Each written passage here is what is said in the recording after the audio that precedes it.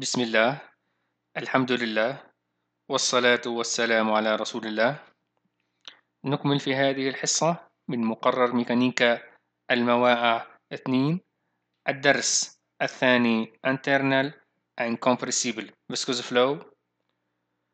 كنا قد درسنا في الحصص الماضية وعرضنا حالة سريان الماء عندما يكون ما بين two plates وتكون البليت اللي تحت أو اللي فوق تتحرك والثانية ثابتة أو الاثنين ثابتين.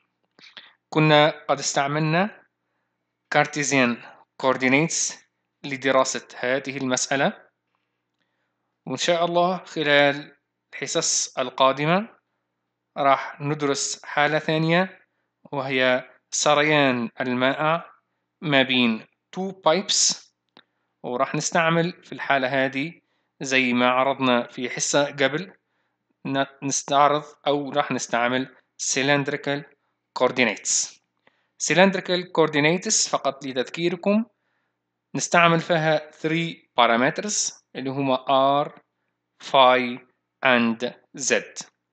بالنسبة للسرعة تنقسم إلى ثلاث أجزاء. إذا تنقسم على UR, U5 and UZ وكما درسنا في البليتس كنا قد سوينا بضع خطوات لدراسة هذه المسألة وقلنا إنه السرعة لما تنقسم إلى ثلاث أجزاء UR, U5, UX and UY and UZ فإذا depend كل واحد فيهم depend in four parameters اللي هما time x y and z نفس الشيء هنا في similarity للموضوع يعني راح ندرس UR, U5 and UZ وراح نشوف انهم depends firstly ب four parameters اللي هما time t r phi and z لدراسة هذه المسألة تسمى steady and compressible flow of Newtonian fluid between زي ما قلنا cylinder outer cylinder and inner cylinder يعني cylinder برا and cylinder جوا cylinder اللي جوا rotating يعني يلف وسيلندر اللي برا ثابت وكنا قد سمينا المسألة هذه وعرضناها قبل تسمى fully developed pipe قوة flow. قلنا كلمة قوة هي كلمة فرنسية تعبر عن إيش؟ تعبر عن الماء الموجود ما بين تو cylinders. لهذا زي ما قلنا الحين راح نعرض مجموع الخطوات اللي راح نستعملها لحل هذه المسألة. راح نستعمل إن شاء الله في الخطوة الأولى continuity equation and Navier-Stokes equation.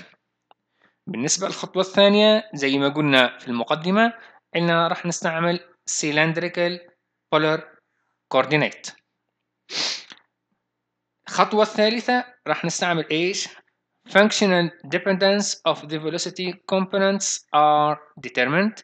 زي ما قلنا إنه السرعة تنقسم إلى ثلاث أجزاء. UR, U5 and UZ UR depend in time R, phi and Z U phi depend R, phi and Z and UZ depend R, phi and Z زي ما قلنا الآن على R direction عندي اليو R على الفاي direction عندي اليو phi and Z direction عندي UZ every component of velocity depends time R phi and Z أيضا U phi time R phi and Z UZ time R phi and Z لحل المسألة راح نستعمل مجموعة assumption بداية راح نشوف assumption الأول اللي هو steady flow وهذا يعني لي إيش no time dependence يعني المسألة لا تتأثر بإيش؟ بالزمن فكأنه التايم راح نلغيه. الشيء الثاني fully developed flow وهذا يعني إنه صريان الماء لا يتأثر بالزد direction فالزد هنا راح نلغيها. والشيء الثالث axisymmetric flow يعني no change in the tangential phi direction. وهذا يعني إنه الفاي راح إيش؟ راح ما يكون عليها تغير.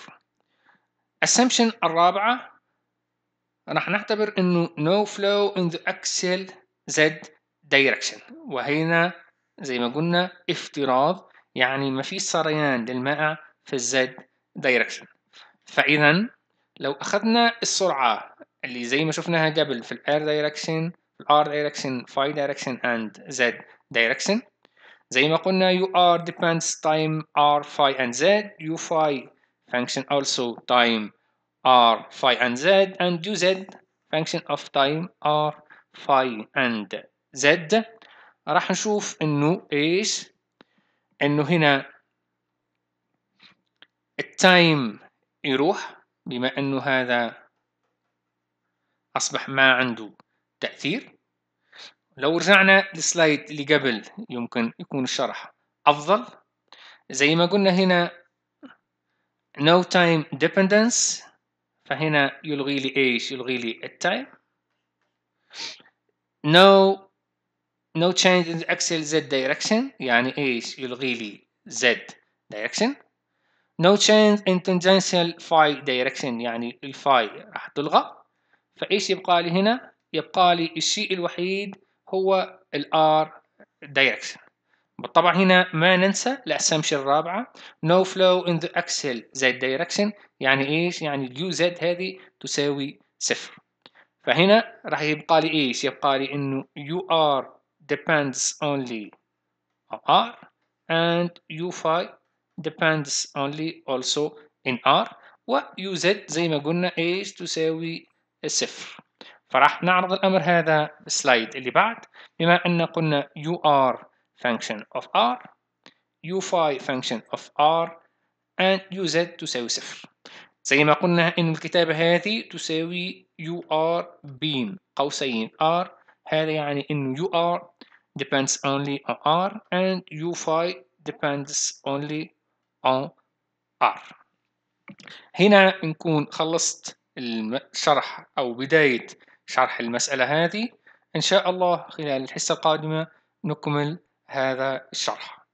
فهنا أود طرح سؤال قبل ما ننهي المحاضرة. هل إنه u phi دائما تساوي صفر؟ أو إنها تتأثر ب parameter time R phi and Z السلام عليكم ورحمة الله.